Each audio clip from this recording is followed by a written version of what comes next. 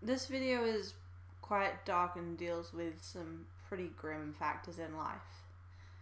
If you decide to continue watching this and feel you need some cheering up afterwards, I strongly recommend watching something like Black Books, which is available on Netflix.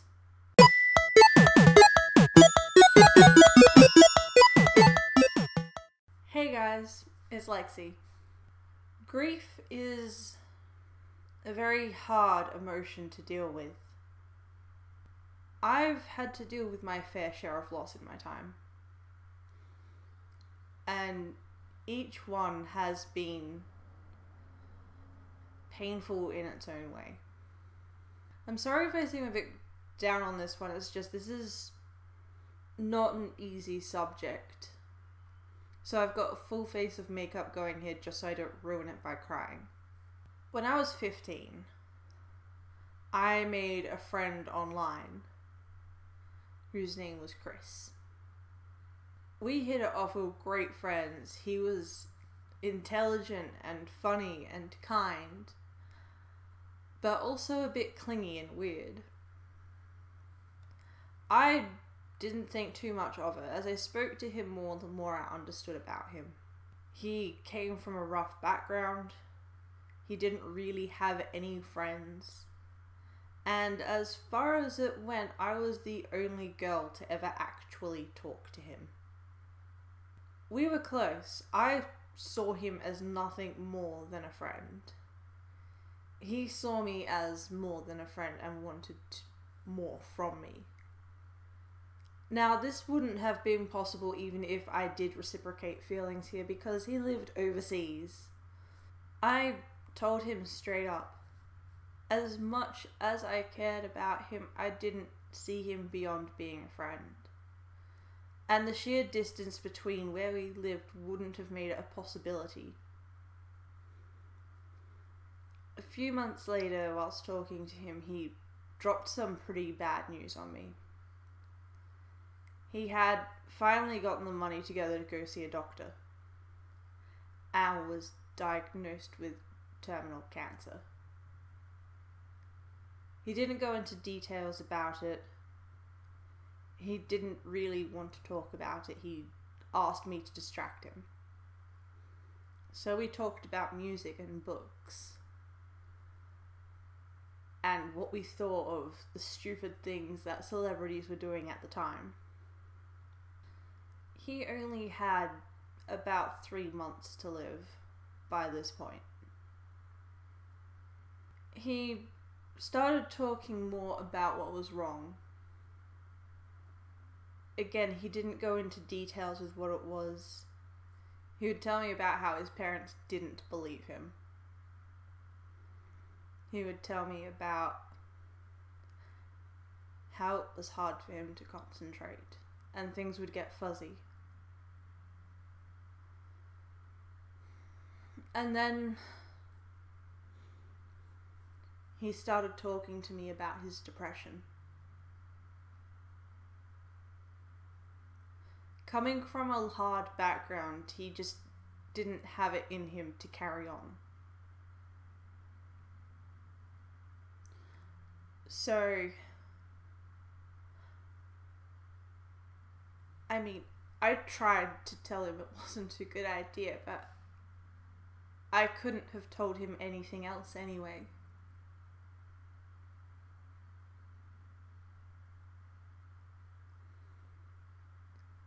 When someone is dying and they don't have a saving grace for them, like there is nothing left. And they can see where their end date is and it's approaching fast, there's nothing you can say or do to convince them. And I don't know. I just felt I couldn't tell him that he shouldn't.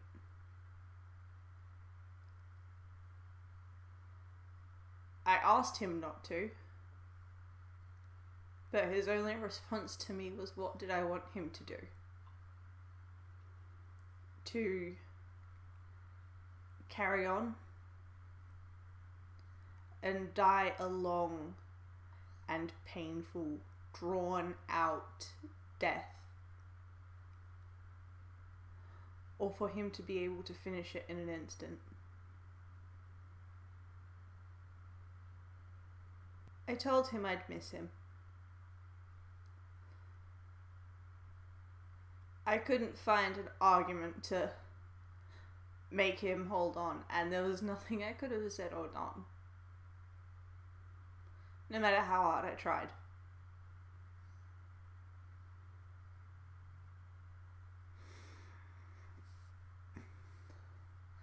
He went quiet one day, and I didn't see him online for months. And then one day on MSN Messenger, which is what I was using at the time, he popped up. I was astounded because this was past the three months he had left. And I was so hopeful that maybe some kind of miracle had broken through and that he was going to be alive and okay. But he wasn't.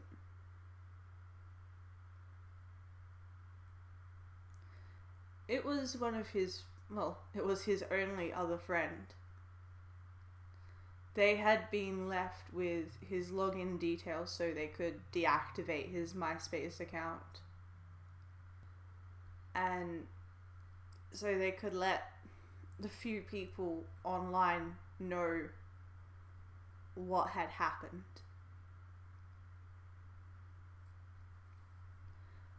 I won't go into details about how he ended things. Because I feel it would be disrespectful to make a spectacle of what happened. I carried guilt for this with such a heavy heart, knowing full well nothing could have changed it. One of the things with grief even if you know nothing could have changed it, is wondering if you could have done something different to make things better. Maybe if you'd gone to see them, or if maybe you could have said what they wanted to hear. to give them that last bit of happiness so that way it would have been something for them to carry on.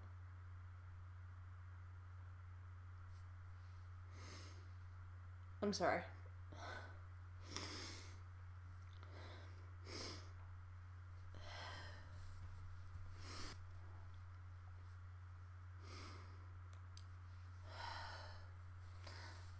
Sorry about that.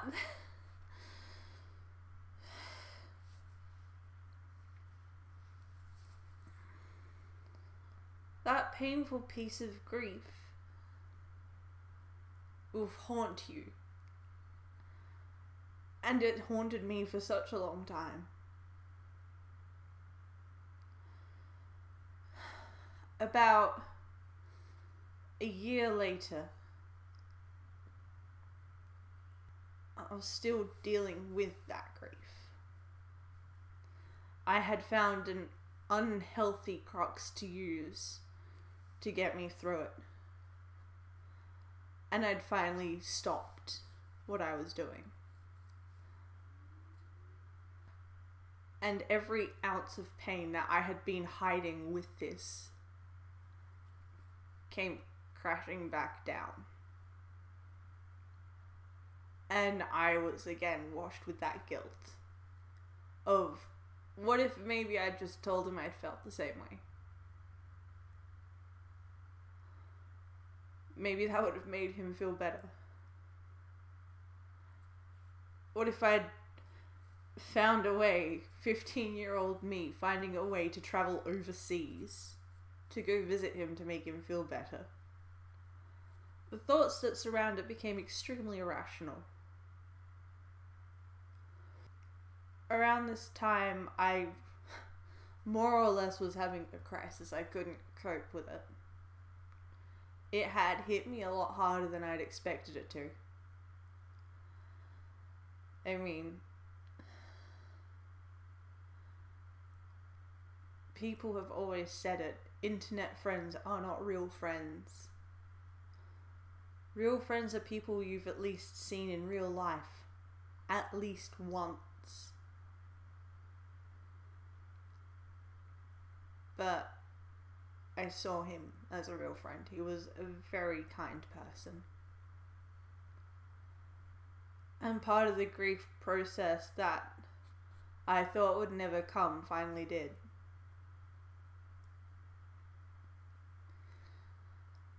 One night,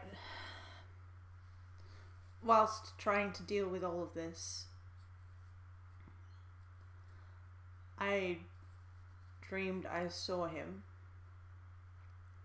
It was a very weird dream, to say the least.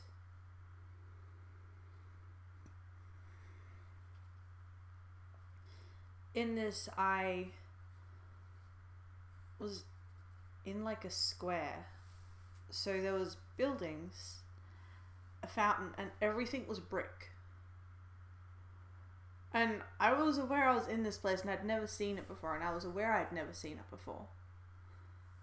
And I was trying to figure out what was going on. It's a really weird feeling to know that you're dreaming and not be sure why.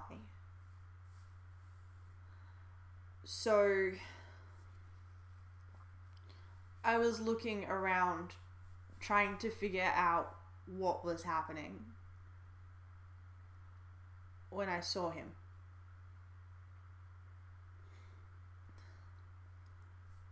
Chris approached me in this dream, and it sounds crazy, but he just hugged me, and it was the most warm embrace I can ever remember feeling, which is even weirder when you consider the fact it's a dream. And he told me not to feel guilty or feel shame over it because it wasn't my fault. And that he loved me for the fact that I tried. And to just let it go. He took a step back and told me that he had to go. And he walked off into this crowd of people and just disappeared.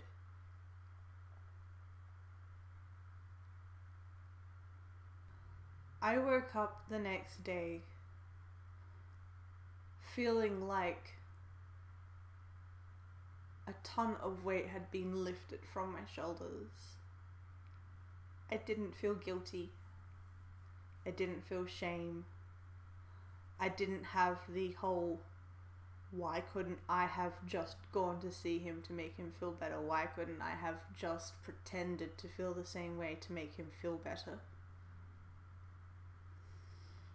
It all kind of just clicked over and everything started to feel better and I was able to carry on with my life.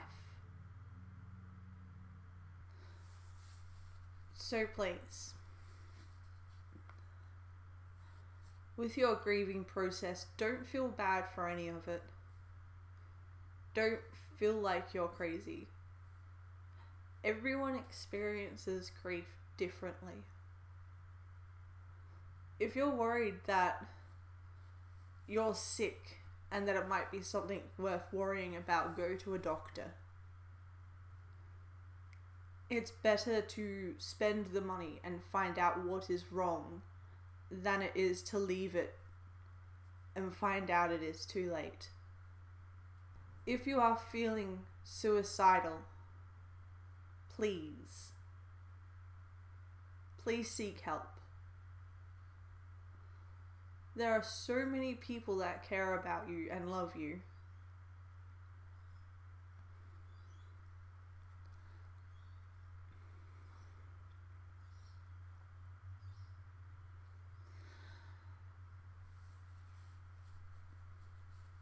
There is always someone out there willing to listen to you.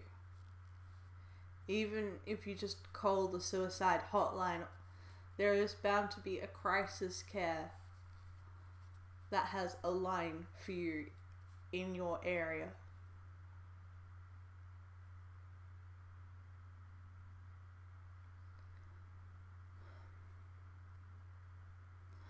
I'm sorry this story time has been a bit depressing, to say the least. But I love you all. Please stay safe. And as always, I'll see you next time.